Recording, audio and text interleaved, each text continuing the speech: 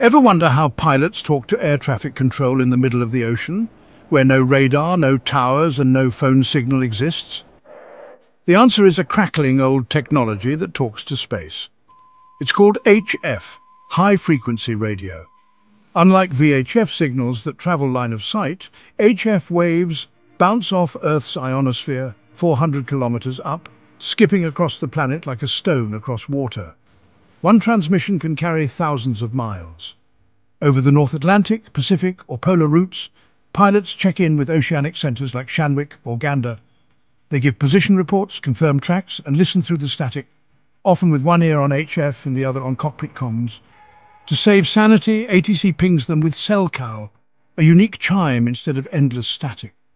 Today, many aircraft use satellites for crystal clear calls or CPDLC, digital messages sent directly to controllers.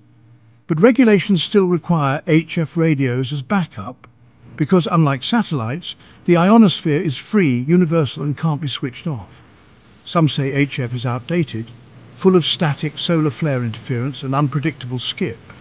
Others argue it's still the most resilient global safety net. After all, it doesn't need satellites, towers or internet, just Earth's atmosphere.